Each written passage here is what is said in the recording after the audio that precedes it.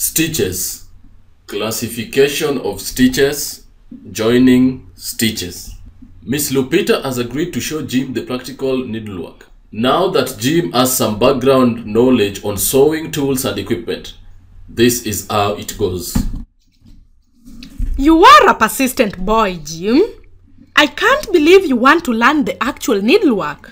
I really want to make the t-shirts. Besides, I am paying for it, so the more I learn, the better. I get it. Anyway, to learn how to sew, you must first learn about stitches. A stitch is a single loop of thread or yarn on a fabric.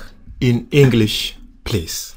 This simply means that when you work a threaded needle in and out of a fabric, what you get is a stitch. Now, stitches are classified into two major categories temporary stitches and permanent stitches. Hmm.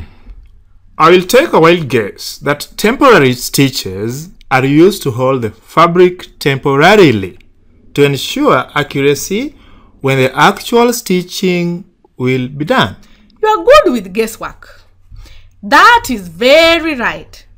These stitches are removed once the permanent ones are made, so they should not be too tight. I once saw a tailor making some long running kind of stitch to hold some piece of cloth together. I just don't know how they are called.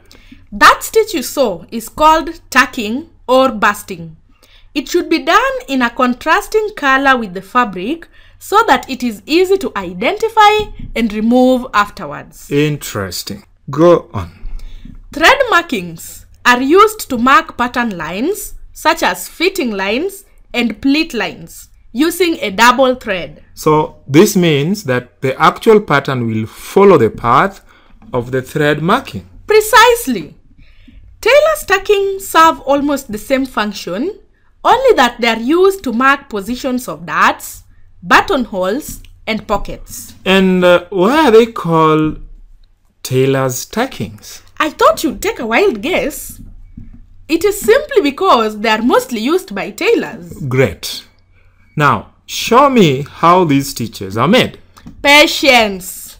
We also have the permanent stitches. Oh, I almost forgot that. I will need some stitches to hold the t-shirts in place permanently. Exactly my point. These stitches are grouped according to their functions.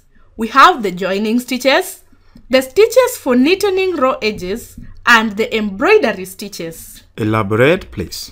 Joining stitches are used to permanently sew the fabric together. Under this category, we have uh, the running stitch. Wait a minute. You mean running like what our athletes do? Jim, if you continue interrupting like this, we will never finish this discussion. Anyway, as I was saying, running stitches are made by basically passing the needle in and out of the fabric. Hmm. More of the thread is seen on the upper side of the fabric than the downside. It is also known as the straight stitch. Great. No more mentioning of athletes. But how is this different from tacking? The difference is in the color of the thread hmm. and the length of each stitch. Otherwise, everything else is the same. Running stitches are made using the same color of thread as the fabric. The other one is called the back stitch. I know backstitch. My mother uses it to mend my clothes. Oh, really? Then tell me about it. All right. I know that it is done on the wrong side of the garment, from the right side to the left, and uh, the stitches overlap. Nice. And to add to that, less thread is seen on the right side of the garment when the work is done.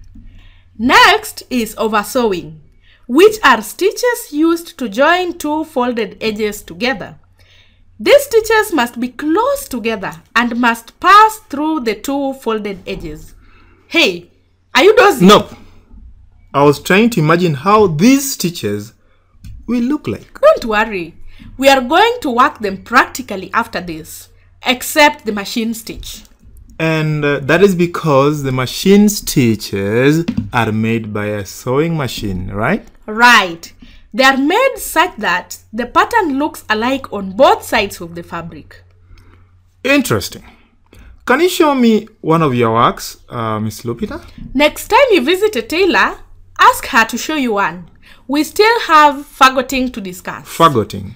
This is an embroidery stitch that is used to join two edges decoratively. My goodness. It sounded like some worm or even a disease. Now you know better. The two edges to be joined must be held together firmly and fixed on a cardboard or manila paper to facilitate evenness of the stitches. Enough of joining stitches. Let us now talk about the stitches you will need to make your raw edges neat. Hey, aren't we going to take a break? Like grab some coffee? You see, you were dozing. That's unfair. I got everything you say. Okay, coffee it is. We can discuss the others as we sip. Hmm.